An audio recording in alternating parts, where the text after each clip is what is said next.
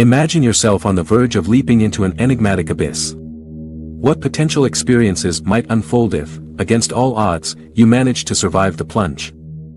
Where would your journey take you, and what captivating stories could you share upon your improbable return? The answers to these queries, as elucidated by Professor Richard Massey. As a distinguished researcher affiliated with the Institute for Computational Cosmology at Durham University and a Fellow of the Royal Society, Massey acknowledges the profound enigma that envelopes black holes. According to him, venturing beyond an event horizon is akin to crossing a boundary into the unknown. Once someone traverses this threshold, communication back becomes an impossibility. He adds, the overwhelming gravitational forces would tear them apart, leaving little chance for anyone to reach any destination. While this response might seem unsatisfying and painful, it aligns with expectations. Ever since Albert Einstein's general theory of relativity linked spacetime and gravity, suggesting the existence of black holes as remnants of massive stars, we've understood that these entities emerge from the demise of such stars. If the remnant core surpasses roughly three solar masses, gravity's dominance compels it to collapse into an infinitesimal singularity, constituting the core of a black hole. This resulting black hole wields an irresistibly potent gravitational pull, so intense that not even light can escape. Thus, arriving at the event horizon, that theoretical point where light and matter can only move inward, as proposed by Karl Schwarzschild, signifies a point of no return. Professor Massey explains that tidal forces would stretch an individual's body into atom-sized strands, an effect vividly called spaghettification, ultimately culminating in the obliteration of the object at the singularity. The notion of emerging elsewhere, perhaps on the opposite side, remains a fantastical notion.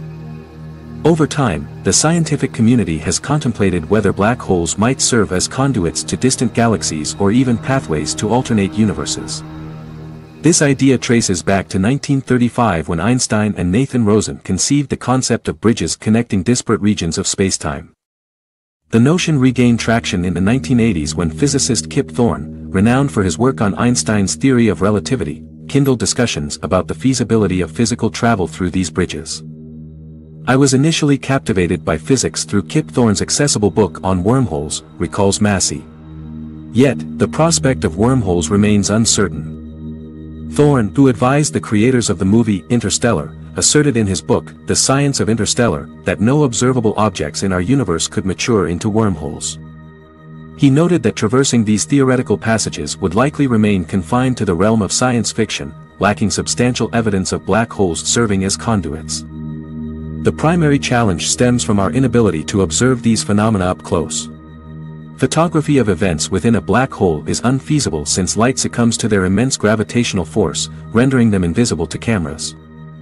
Currently, theory posits that anything venturing beyond the event horizon becomes integrated into the black hole.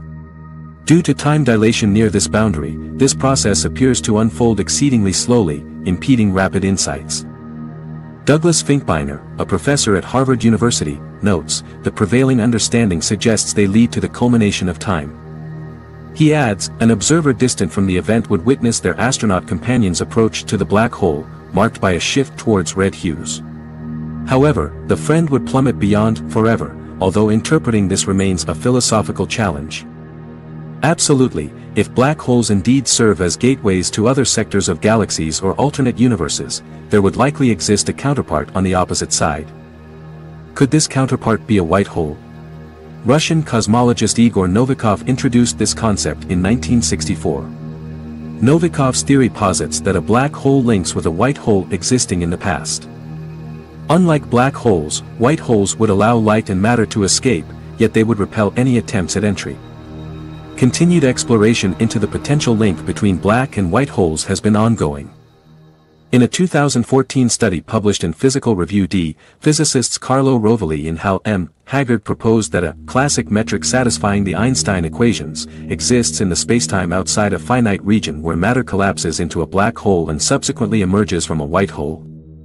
This implies that all matter previously engulfed by black holes could be expelled, and upon their demise, black holes might transition into white holes. Contrary to obliterating absorbed information, the collapse of a black hole could be halted and instead undergo a quantum rebound, enabling information to escape.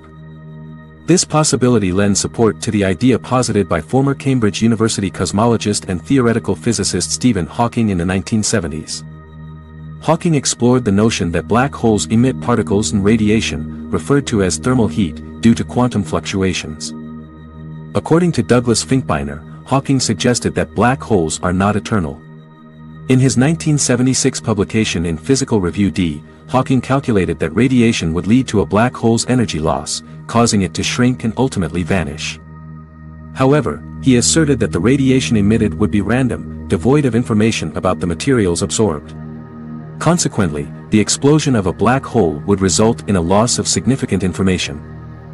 Hawking's proposal generated a conflict with quantum theory, which upholds that information cannot be eradicated. In physics, lost information becomes increasingly challenging to recover, rendering it impossible to discern the past or future. This concept gave rise to the black hole information paradox, puzzling scientists for years. Some argued that Hawking's theory was flawed, and he himself acknowledged an error during a scientific conference in 2004. So, does the concept of black holes emitting preserved information through a white hole hold merit? In a 2013 study published in Physical Review Letters, Jorge Pullin at Louisiana State University and Rodolfo Gambini at the University of the Republic in Montevideo applied loop quantum gravity to black holes.